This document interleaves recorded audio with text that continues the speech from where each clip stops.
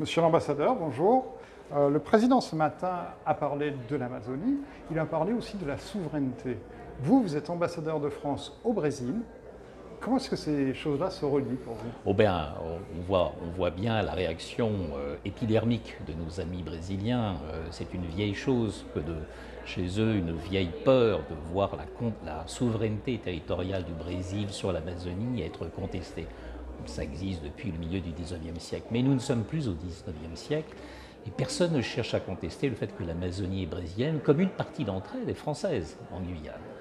Nous, ce qui nous intéresse, c'est de faire en sorte que ce bien fondamental euh, pour euh, l'humanité, cette réserve extraordinaire de biodiversité, soit préservée. Et donc, il y a certes une souveraineté brésilienne sur l'Amazonie, mais il y a d'abord une responsabilité brésilienne à entretenir ce bien fondamental.